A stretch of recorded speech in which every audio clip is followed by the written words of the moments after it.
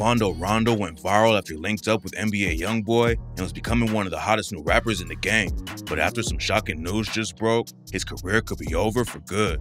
This is the rise and downfall of Quando Rondo. On December 8, 2023, the FBI worked with the Savannah, Georgia Police Department to arrest Quando Rondo. They pulled him over around midnight, but it wasn't for a simple traffic stop. The feds had a target on Quando, so they sent the local cops to hunt him down. Quando and three of his homies named Lil D, Stro, and Hollywood were all named in the Fed case and were charged with conspiracy to possess with intent to distribute fentanyl, cocaine, and more. Quando pleaded not guilty and was released on bond, but if the case goes to trial, he could end up serving 20 years in prison. Getting hit with the Fed case is never good news, but Quando was already facing a state RICO in Georgia. Back in June 2023, Quando and 18 other dudes got hit with a massive 49 count indictment. Quando was charged with two counts of conspiracy to violate Georgia's Controlled Substances Act, one count of participating in criminal street gang activity, and use of a communication facility in commission of a felony involving a controlled substance. According to the paperwork, Quando took a trip to Macon, Georgia on June 4th to buy weed from his plug. The state accused Quando of being a leader of the Rolling 60s Crip set in Georgia, and if they're able to prove he was calling the shots, then he could catch more time for any crimes his homies committed. When he was arrested in June, the prosecutors wanted to keep Quando locked up and asked the judge not to give him bail. But the judge decided that since Quando has to travel for his career, he could stay free until the trial. This isn't the first time Quando's been accused of street gang activity, though. Back in 2019, the state tried to get rid of his probation after he was convicted of possession of a firearm by a minor. Then in 2019, Quando threw hands with an op at the Oglethorpe Mall and got hit with charges for affray and violating his probation. The judge gave him bond on the probation violation, but the state tried to get rid of the probation again and said that the fight was between rival gang members and accused Quando of violating the Street Gang Terrorism Act. Then there was even more drama in the case after Quando's lawyer had to quit. It turned out that he was working with the dude Quando threw hands with too, so Quando hired a dude named Jeffrey Alls instead. Jeffrey said that the state had done a lot of unethical things in this case, and eventually the state gave up on revoking Quando's bond and dropped the accusation about gang activity too.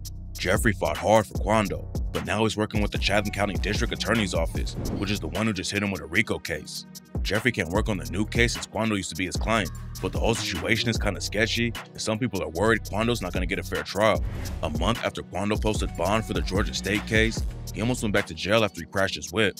According to court documents, Quando was speeding down the highway when he crashed, and first responders gave him Narcan since he was showing signs of an overdose. Narcan is used for people who overdose on opioids, and part of Quando's bond agreement said that he was supposed to stay away from illegal drugs. Quando caught another break and didn't get locked up, but his luck ran out in December when the FBI got involved. Here's what's really crazy about the situation.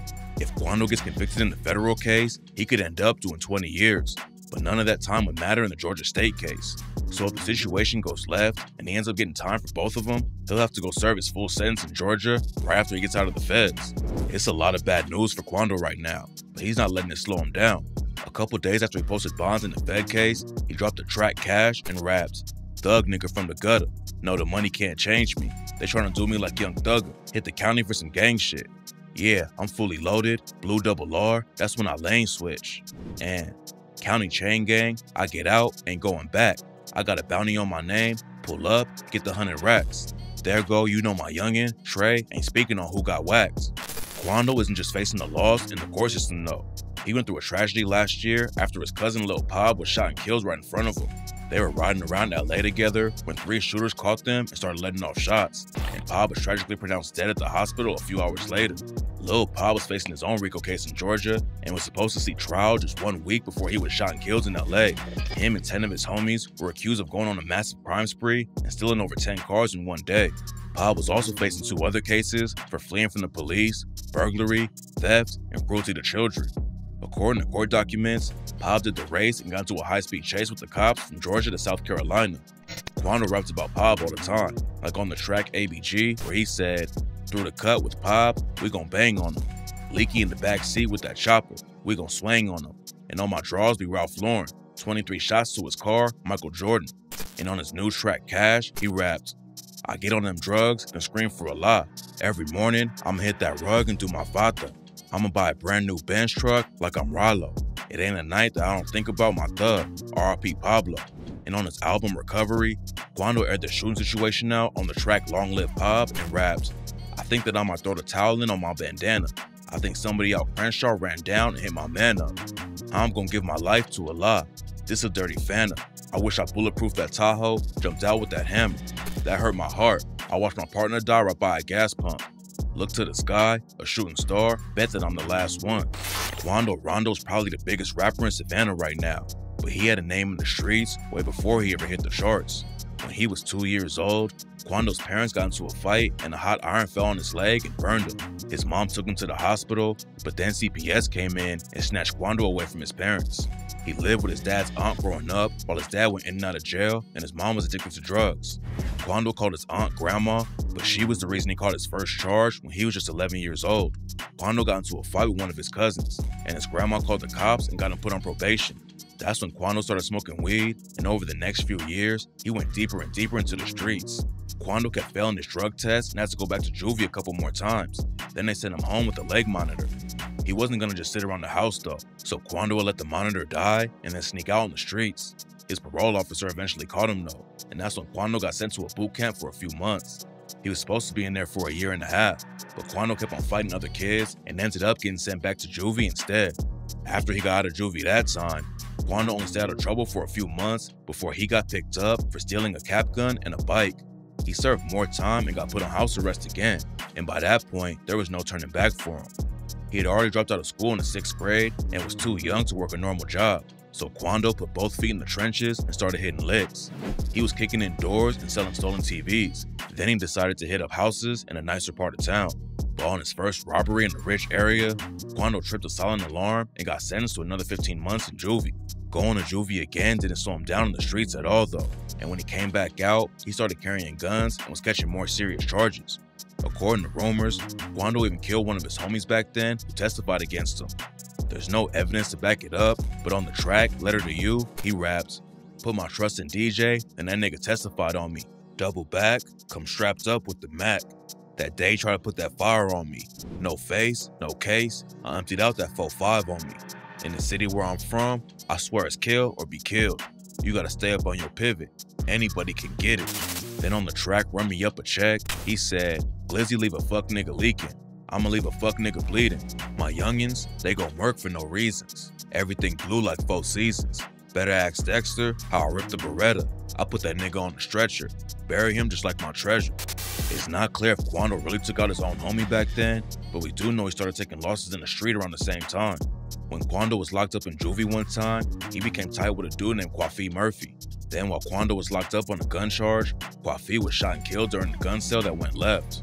A dude named Juki ended up getting hit with a life sentence for murdering Kwafi, and Quando says that was the first homie he actually lost. In an interview with DJ Smallz Eyes, Quando said that he's still really heartbroken over the situation, and it was the first time he realized death was real. A lot of people only heard about Quando and his homie Lil Tim after they were involved with King Von's death back in 2020, but the two of them are wrapped up in one of the deadliest gang wars in Georgia history way before that.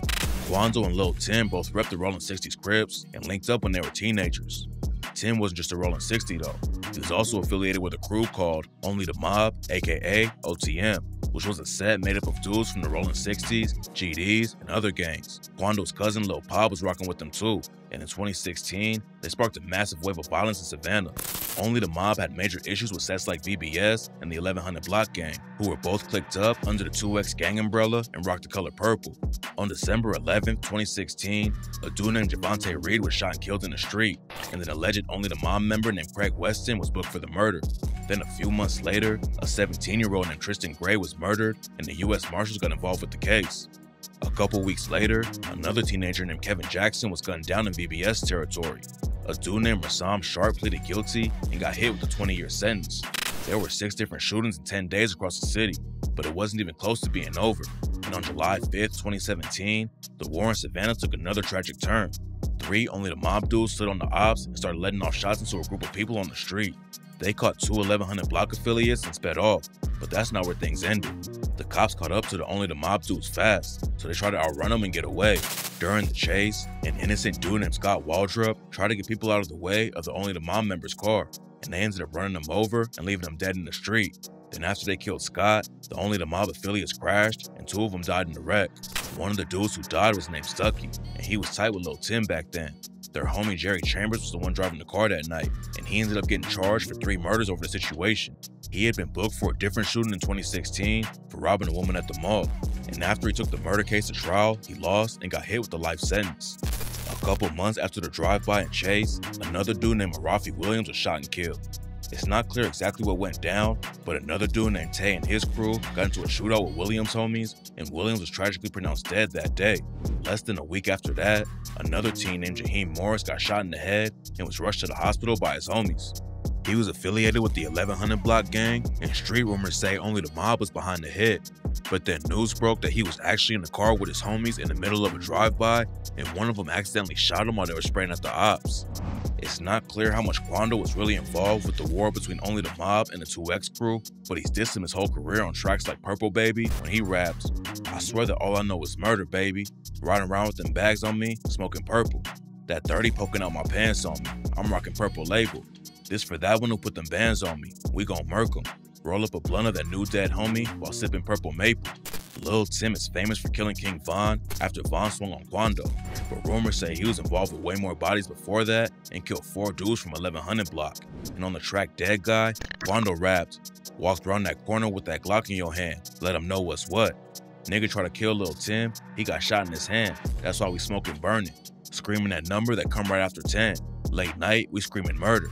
Quando allegedly confirmed Tim had four bodies before Von on the track Purple Baby and raps, Hellcat versus that Hemi, we straight dust a nigga. Do the dash in the 4Runner. Way before that boy, he put foe on him. I'll be down, they up the skull on us. I done dropped a low, I'm in the NOLA thuggin'. Here they go, claiming they want smoke until they bro under. Quando, Tim, and the rest of their homies were heavy in the streets back when Savannah was one of the most active cities in Georgia. At the same time, Quando always wanted to make it in the music industry and started dropping tracks in 2017 when the beef with the 2X crew was really heating up. After he got out of jail in November 2017, he dropped a track I Remember on YouTube and popped off immediately. A couple of months later, Lil Baby hopped on the remix and helped Quando get even more buzz on his name. And in June 2018, he linked up with the dude who helped him take everything to the next level. NBA Youngboy made Quando his first artist on his Never Broke Again label, and that's when Quando really hit the spotlight.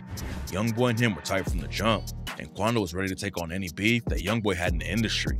Having Youngboy backing him pushed Quando's career in a big way, but it's also why he ended up getting involved with King Von's death. Before Youngboy and Von started beefing, Quando was cool with Von's homie Lil Durk, and they even linked up in the studio. Youngboy and Von started having issues after Von dissed him for capping in his raps on IG Live. Then they started going back and forth about their baby mamas on social media.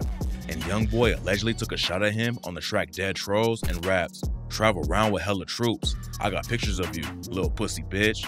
Plan on staying in something in Atlanta too. Won't get up with me, but I don't fuck with you. All in Pampers, sunset tripping too. Bounty hunter bitch, trying to eat the crew. Quando got involved with the Twitter beef and started taking shots from Von's homies. And that's when Lil Tim hopped in and said, Niggas from Chiraq better chill on my nigga Quando. It was clear that the beef was heating up, but nobody expected it to end with Von getting killed right when he was becoming a superstar.